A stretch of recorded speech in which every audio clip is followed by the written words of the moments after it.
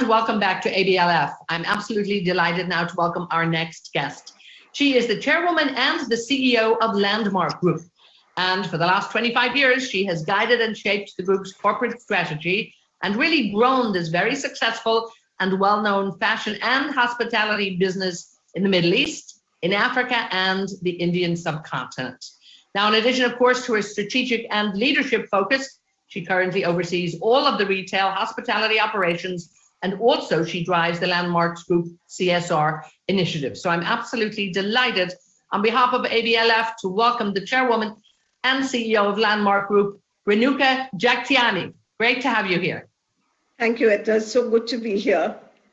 Well, we're delighted to have you here and really to listen to some of your journey and indeed to listen to your great insight into what's happening in the retail sector. And when we look at, you know, the work that you have done and building this company, the largest retail and hospitality organization, one of them really in the Middle East, Africa, India, you know, you look around and there's definitely strength coming back to global economies. Um, talk to us a little bit about how things have been at Landmark. I think on the whole, you know, the, when the year started, we were not sure, but we've just ended our financial year. And I must say that we've ended it, we've held well, we've held well to a lot of things in some parts of the business have actually grown through this. And there are there've been positives, there've been downsides, but on the whole, it's been it's been for us a year of learning and a great year. When we look back, we really look at this as a year which defines us in so many ways. So it is it is a good year. It's been tougher in some markets. India's Indeed, been yes. tough, you know. But as you say, I mean, huge learning for everybody, and in that learning, I think comes brings great ideas. But this also demands, you know, a lot of strong leadership. I think, without a doubt. And this is something that we're seeing, particularly when we're called on by leaders of industry here. How would you describe, I suppose, your own leadership style, and how have you adjusted you know, in terms of what the pandemic has brought? So I'm a very hands-on leader. I'm kind of detail oriented. I do micro, macro, and I I think I'm a person who focuses on the current while I always keep a big picture in mind. So I don't just look at current. I don't think I could in my role. It would be disastrous. But um, I I don't think you can get away from the current ever. You know, so I believe that, and I think if you had to say what's my personal style, I'm one who pushes the bar. So I'll constantly look to say, how can I compete with myself? How can I improve my performance? To me, it's not about competing with the outside. It's about improving where I come from and always saying, what could I do differently? It's not just about better, it's about actually how how one is moving and keeping abreast, keeping understanding how the market's moving, and that makes a big difference, you know. And of course, I mean, to, go ahead. Sorry, I really believe that that is what is a key part of it.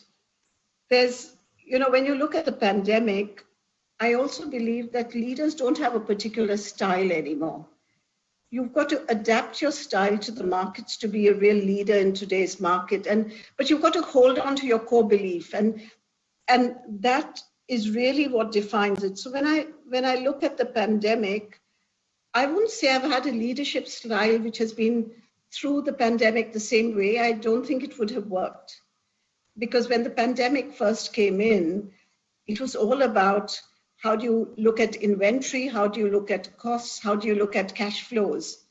So at that time, it was very directive in style to say, we need to do this, let's get on with this. And, you know, and, and really doing everything to protect the business from that perspective.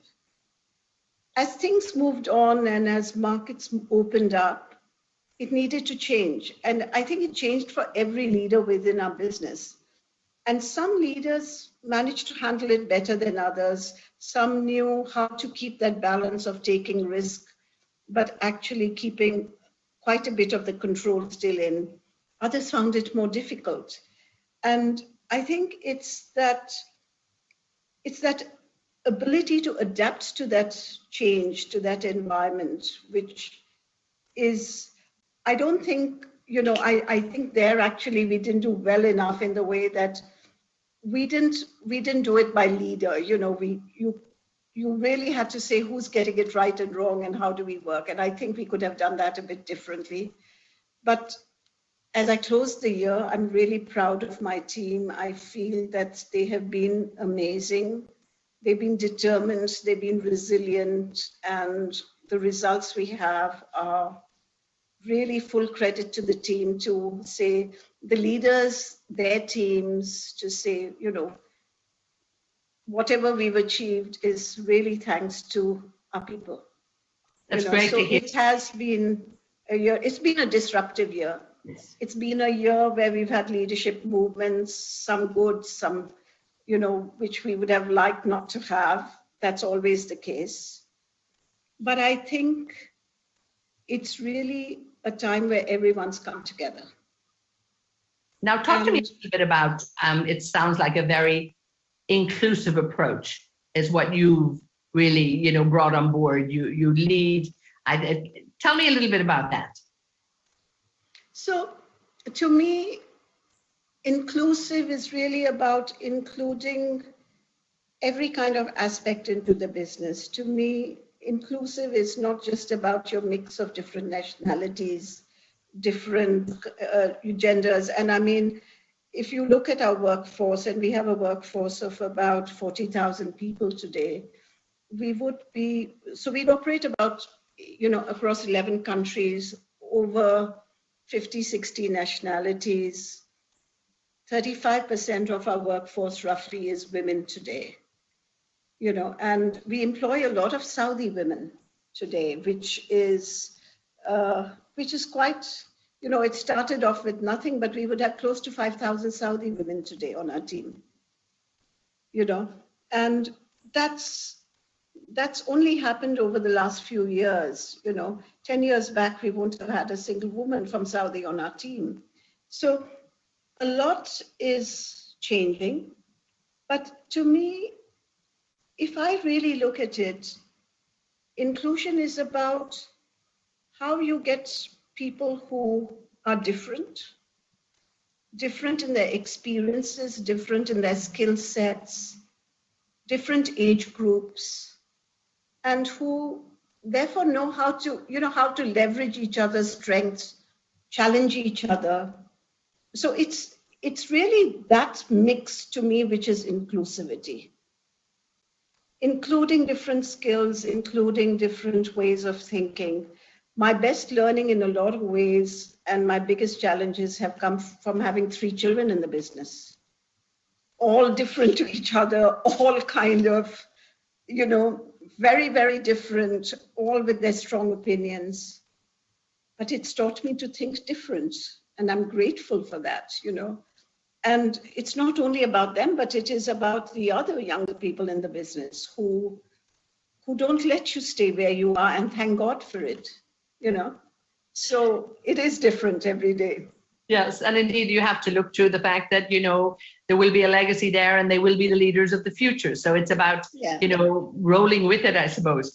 When you look on a wider scale, you know, outside your your own industry, so to speak, and look at you know, I suppose leadership lessons that uh, you know the pandemic might have taught the world. Is there anything particular that you think about that maybe we've all had to stand back and learn?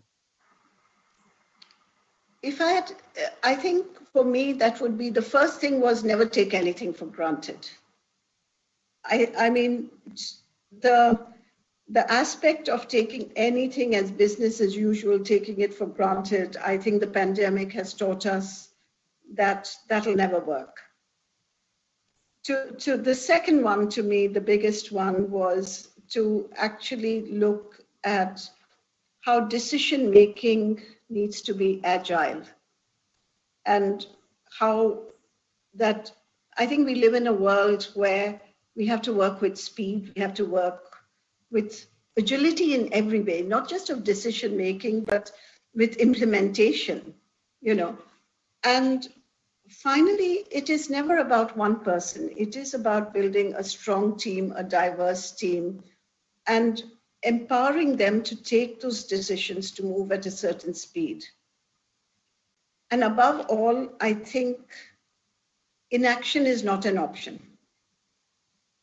You know, you have to you have to take a call, you have to move. You can't wait around and say, you know, I'll take my time over it. That luxury doesn't exist anymore.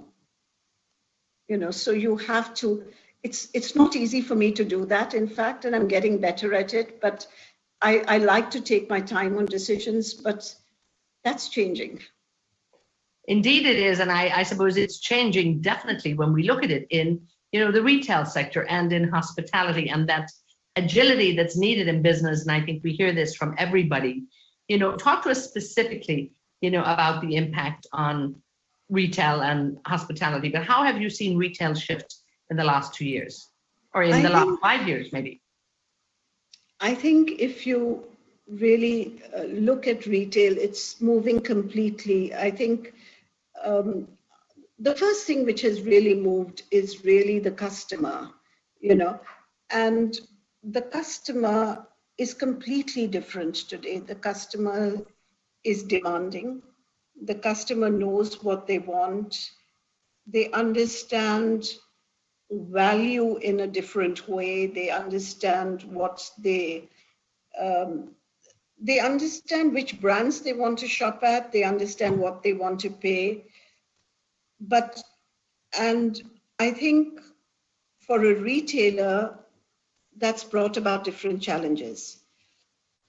I think, you know, it's to me, um, the customer is moving faster than the retailer. And that's the one thing the retailer has to constantly see that they adapt to. But that I think is, um, we've looked at that in many different ways. And one of the ways we looked at it is to say, what do we really stand for? And we we took a call this was going to be two three things it was one is we would always stand for value we would stand for the customer in the way that we've built our own brands our own businesses and therefore adapting our products to the customer is a very strong core belief in our businesses so it is about the customer it is about value and the third one we're realizing more and more is you have to be where the customer wants you to be. So whether it's online or offline, you have to be where the customer is. And in the pandemic, we fast tracked our e-commerce. So before the pandemic, while we had started on e-commerce and we were geared up, we, we today have crossed over 10% in e-commerce in our businesses. We believe that this is this will only go higher and we have to gear ourselves up to say what would it be in three years in five years time what is the infrastructure we need to do what is what is technology and how do we need to invest on technology to be able to build on that infrastructure you know so and we completely believe in value. So a new business for us, and it's about three years old now, is a discount grocery business. Uh, we call it Viva, and Viva is built on a private label grocery business, really, which is which is all about value. We don't we don't sell a single brand which is not ours. So no Coke, no Pepsi, no Lipton tea, you know and it's brave and i wondered whether you know it would work but i think what works is value in that and so in those that's really where i see the customer change you know mm-hmm. so we believe we we are an omni-channel retailer we will always be an omni-channel retailer we don't think just e-commerce we don't think just stores anymore. Indeed, so yeah. to be where the customer is. Where the customer is, and as you say, making sure that you deliver that value. I've had, uh, Yes. I've come over to your Viva store. It's very near here, so well done.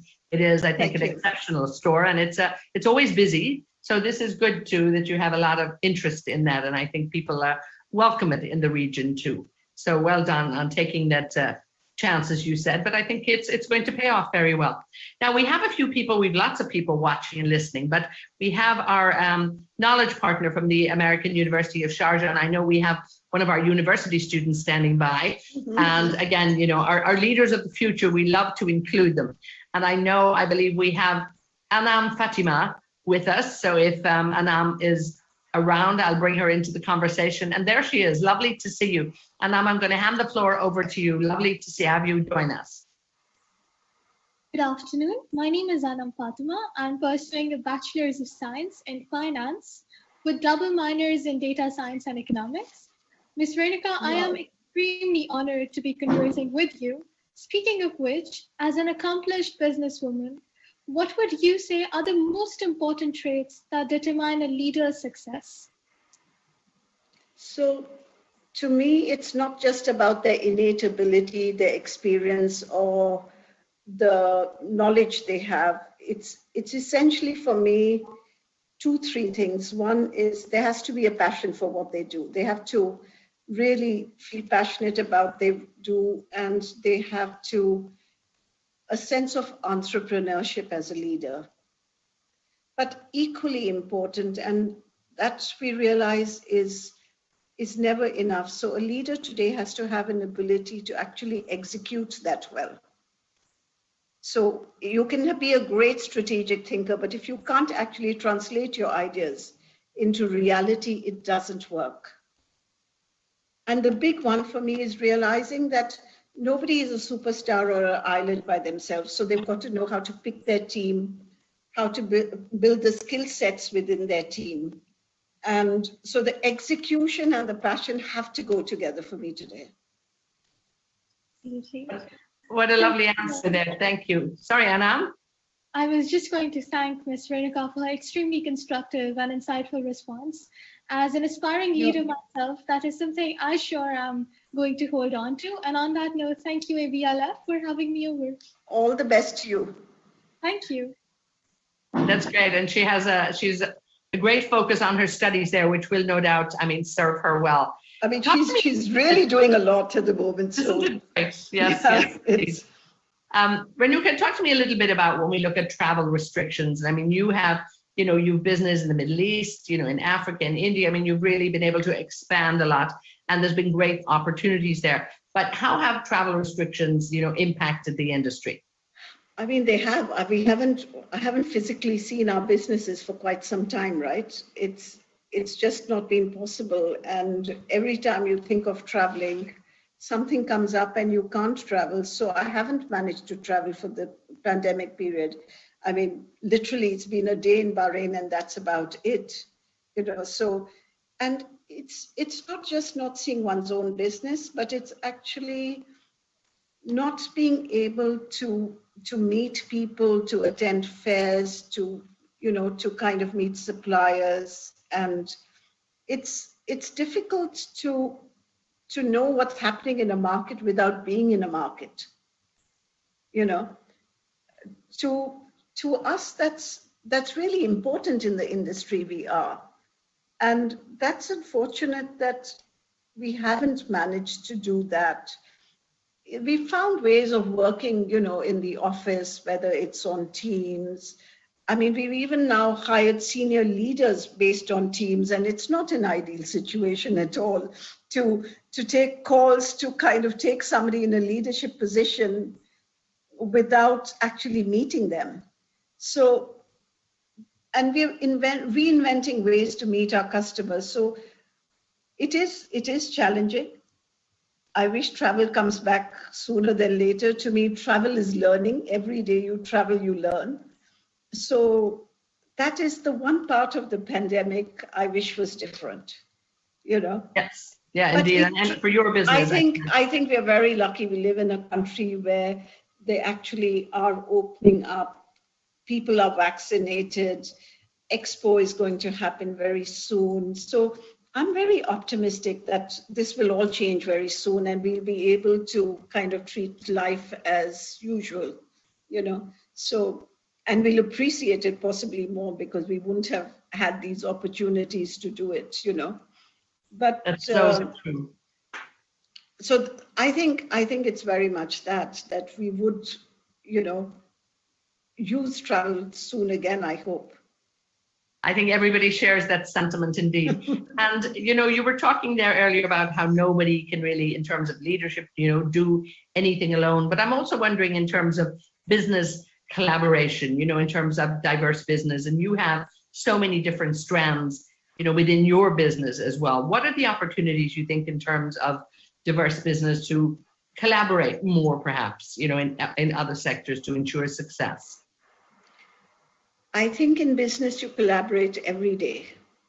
I mean, I consider our biggest collaboration as the supply base we have.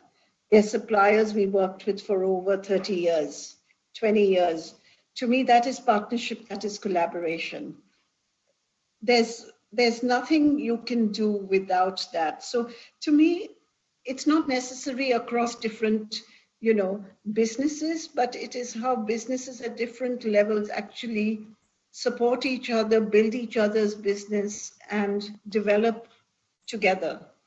So today we would be talking to suppliers saying that you know i'll give you an example saying if we have to you know kind of shorten lead times of production this can only come with collaboration with suppliers who are willing to to work and go that extra mile with you you know so it is it is about collaboration. I think through the pandemic, there's been a lot of collaborative effort from governments to to support different industries, to support retail as one of the industries, to say, you know, how do we see it through?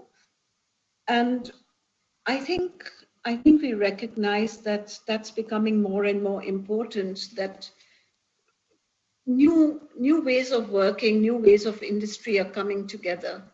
So collaboration is very much a part of it you know. If you if you look even at retail what what is a marketplace but collaboration you know? So in in every way you kind of find different ways of leveraging each other's strength and that's it's such a lovely note to actually to end this on. I mean i like it as you say. You know the, the retail sector is really it's the marketplace. And if you're not collaborating it's it's it's not all going to connect together and deliver you know what it has always done. That's so lovely. Very um, much that. we have to wrap it up there really on behalf of ablf you know it's been tremendous to have you here with us for this time. And i really want to thank you for your great no, insights. Thank you. And, uh, and you're a great inspiration. Thank you. Thank you. Thank you so much. Thanks. All the very best. Thank Thanks. you. And to our audience at home, just a reminder there, I've been speaking to the chairwoman and the CEO of Landmark Group, Renuka Jagtiani. So once again, from all of us at ABLF, thank you so much. Thank you. Thanks. Bye bye.